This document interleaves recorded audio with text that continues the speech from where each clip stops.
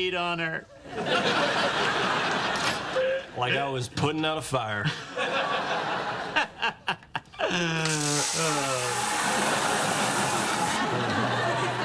then we got in this big fight. Oh my. And I said some things, my friends, things I regret, but which were also kind of funny.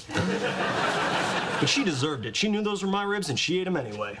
She ate our ribs, and this is how I find out? Oh, it is on. Yeah.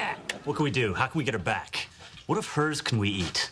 Does she have a cat or something like a cat? Crazy thing is, it all started with me just trying to help her out. Instead, I just pissed her off. I don't know, man. Maybe you made her so mad she's gonna cut you out of her life. She wouldn't do that. Mm, could happen, man.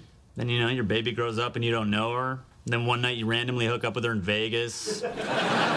then you put it together the next morning. You're like, ew! I just made out with my hot baby. Ah. It's like Oedipus Rex all over again. You know what? I need to go back and smooth things over, fix the toilet, and by the time the game starts, it'll be like nothing ever happened. you peed on her.